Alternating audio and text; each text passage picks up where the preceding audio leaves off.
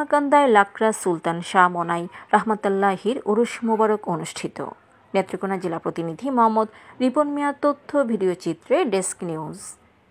নেত্রকোনার কলমাকান্দায় উপমহাদেশের ইসলাম প্রচারকারী মিশন তৎকালীন আলেম, মহান তত্ত্বজ্ঞানী সাধক দামেশ মান্দ অলি নাইবে রাসুল, আধ্যাত্মিকতার শিরোমণি হজরত লাখো রাজ সুলতান শাহ মনাই রহমতুল্লাহির শুভ আগমন ঘটে কলমাকান্দা উপজেলার বটতলা গ্রামে।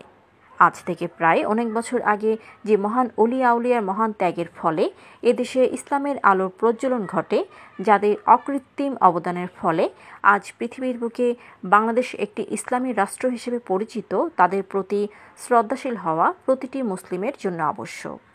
অলি আউলিয়ার এই বাংলাদেশে রয়েছে অনেক অলি আউলিয়ার স্মৃতি বিজড়িত পুণ্যভূমি ঐতিহাসিক ঘটনা। ঠিক তারই ধারাবাহিকতায় কলমাকান্দা উপজেলার বটতলা গ্রামে রয়েছে একজন অলি আউলিয়ার মাজার শরীফ। তারই স্মরণে প্রতি বছর ফাল্গুনে অনুষ্ঠিত হয় ভক্তবৃন্দের মিলন মেলা এখানে প্রায় লাখো ভক্ত আশিকানের সমাগম ঘটে।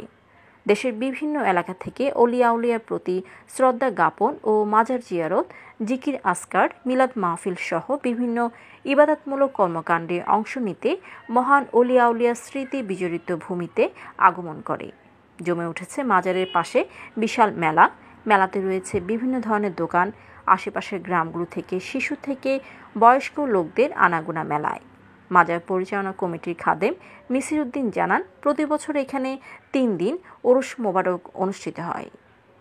Tahura Pinky, BMF television.